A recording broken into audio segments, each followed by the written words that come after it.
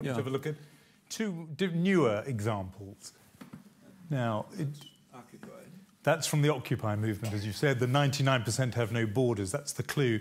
It's quite a deliberately retro style, but here's a cause. I, I particularly singled this out because I thought here's a cause that broadly you might be sympathetic to, and yet would you apply the label of propaganda to this image? Yeah, I'm sympathetic to the cause, but I don't like this technique of trying to bring people in. In fact, I, I can't stand listening to what's called the no, you know uplifting rhetoric. It just really turns me off, and the, for the same reason, this kind of thing. It's an appeal to uh, emotions, not uh, understanding, and uh, it's obvious what it's trying to say. But uh, So you don't like it even when it's in the service of a cause you Oh, may I sympathise. can't stand it. yeah. Well- well, I mean, I can't listen to Martin Luther King speeches, literally, although I greatly admire him. Be- Because it's an. just the style, you know, it's, a, it's an appeal. It's trying to arouse emotional support for something very significant. I mean, I don't criticize it. It obviously meant something. Well, if you didn't like Martin Luther King, what about this man? No, well, that's uh, uh, extreme. You, you can see the effect it had by the on the funeral. Yes. Uh, it was just uh, worship. In fact, about the only thing like it outside of Kim Il Sung, maybe, was Ronald Reagan's uh, uh, death.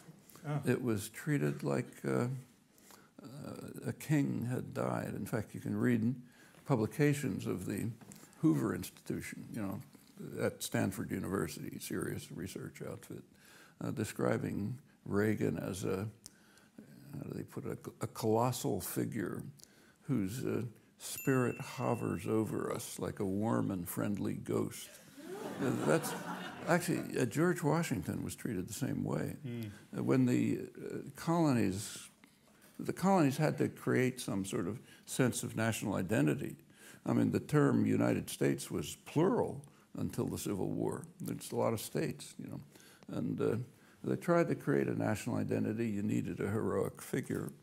So the uh, uh, in the early 19th century, there was a George Washington cult that was stirred. It's where you get these uh, cherry tree stories and all Yes. that business. It was all concocted to try to show that he was uh, uh, practically not human. He was a noble gentleman. Uh, and some of it's very funny. Uh, for example, if you go to the Capitol building today, uh, there's a statue of uh, George around 1830, I think, of Washington uh, in the style of a Greek god. You know, he's Zeus, and and there was criticism of it, but the criticism was because he was wearing a toga and his shoulder was showing. but other than that, that's fine. He was God, you know.